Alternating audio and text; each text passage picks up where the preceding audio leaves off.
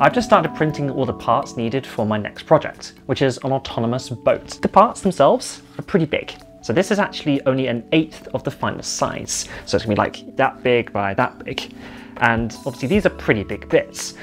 Now, because I'm printing in ABS, there's a slight issue of warping that can happen. And I've realized what my problem is. My printer isn't in an enclosure, which means all of the hot air that usually you want to surround an ABS print with isn't there. So the temperature differential between the top of the print and the heat bed is causing enough, well, it's enough difference for the print to warp. Not good. So I went online and had a look at some enclosures and I saw the price and I was like, nah, hell no. I went away and drew up some designs, which is here.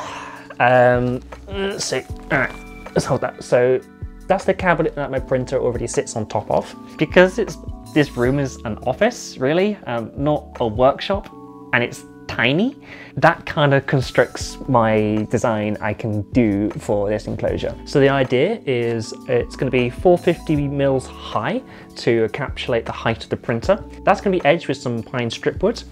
And then on the ends and the sides, it's going to be covered in clear acrylic. The acrylic, I just got that cut to size for me because I don't want to be messing around with that. And I took a trip to my local hardware store and I got all the wood I need. There really is not enough space for a proper workbench in here, so this plastic box is gonna have to do. After making sure to measure twice and cut twice, I ended up with three different lengths of wood.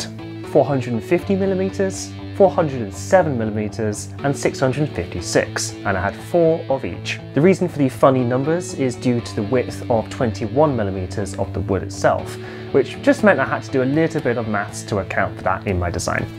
So I also had a bit of a think about how I'm going to join everything together because I don't really like the idea of having visible screw heads at the front. So I designed like these little braces basically.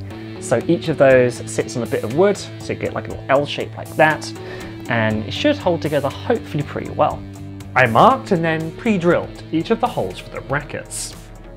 For the base, I'm using a piece of white chipboard, 450 millimeters wide and 700 millimeters long.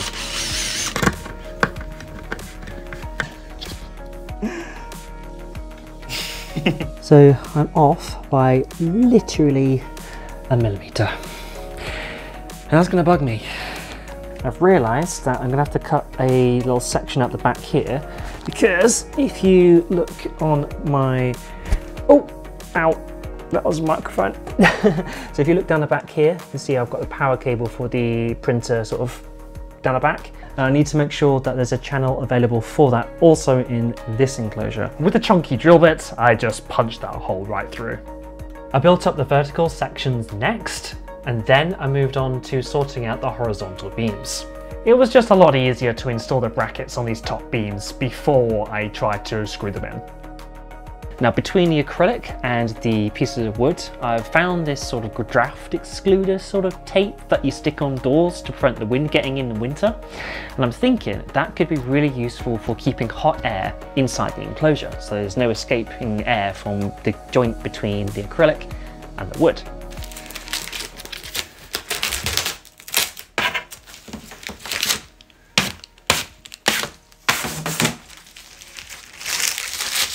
That wasn't as satisfying as I thought it would be.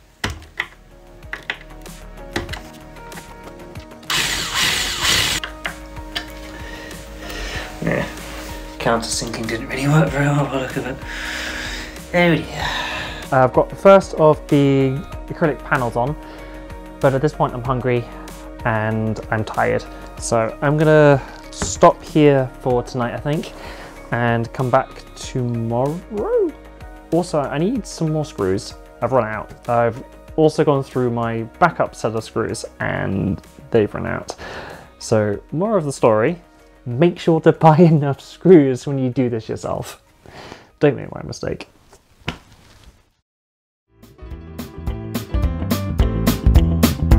I've got screws, they're multiplying, and I'm drilling this hole of the power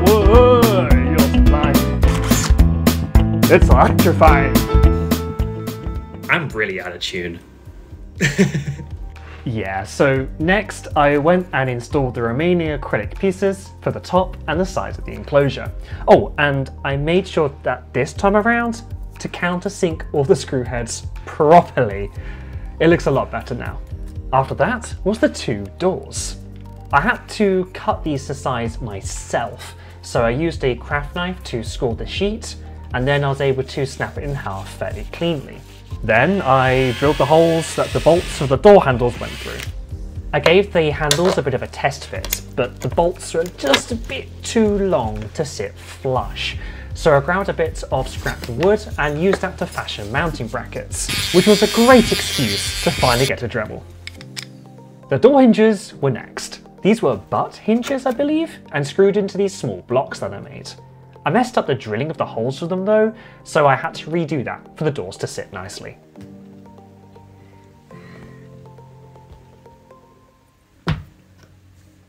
Since the doors didn't exactly shut properly, I designed and printed these magnetic clasps, and you can find a link to the design files in the video description. They're designed to fit these really little magnets I was able to salvage from a broken brushless motor, which came off my big drone, Stanley, and incidentally, I used a Stanley knife to extract them and then a pair of pliers to finally pull them out of the casing. To install the magnets, I used some fast setting epoxy and then used a bit of broken propeller to sort of smush it into the holes needed. And yeah, I really probably should have worn gloves for this. These clamps came in perfect for sort of pressing the magnets into the holes, but I did have to clean them up afterwards, which wasn't so ideal. And then I just repeated the same process for these little blocks as well. This is the first door close mechanism, and as you can see, I've got magnets installed here and on these little nubbets here which will attach to the door themselves. However, I've created this one with a magnet stuck in the wrong orientation. which is why I went ahead and made a second one. Now with this, I made sure that the magnets are correct, so I can take that one off, put that one on, like that, and this one like that. I've gone ahead and removed the 3D print lines with some sandpaper on these parts, so the next thing to do is just to install them in the frame.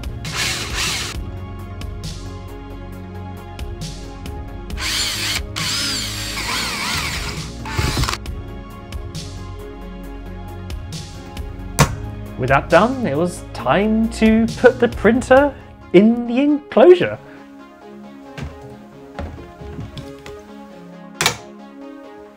That is with room to spare.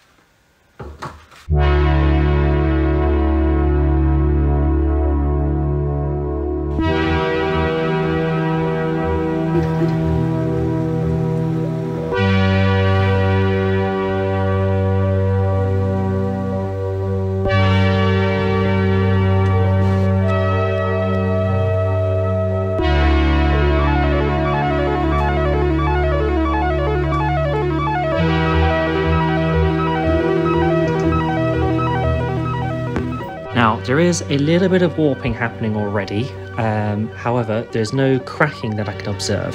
So that is so far a thumbs up from me. I'm going to try using some ABS Plus instead because this is just straight ABS. And hopefully that should do the trick to prevent the warping happening on the next print. I also had to redo the Z leveling for my printer bed, which seems to have shifted a bit. And the next print didn't warp.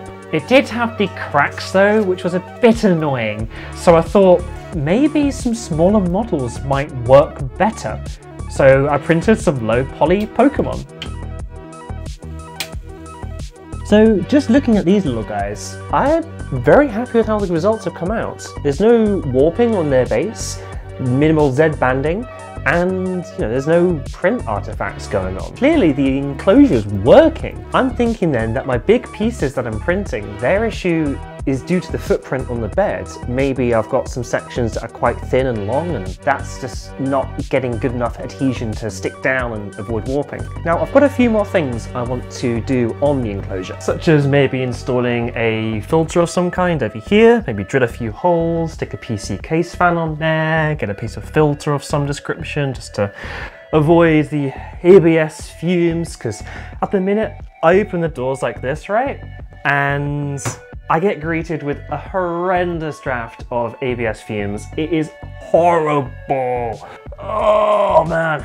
So I've got like a little filter I stick in there after a print's done, but really I kind of want to get away with not having to do that and it will be automatic and lovely, but anyway another project for another time. I have actually managed to get a hold of a Raspberry Pi 3B Plus and I've installed it in this lovely sort of position here. Got a camera rigged up on it so I can get lovely octolapse time lapses. Now without the help of RPI locator on both Twitter and Mastodon, uh, handles like here on screen, I would not have been able to get a hold of this. So big thank you to whoever runs that account. I'm pretty stoked about how this has come out. It's able to reach a temperature of about 10 degrees over ambient. I've seen prints going at about 30 degrees over in that far corner where it's probably colder.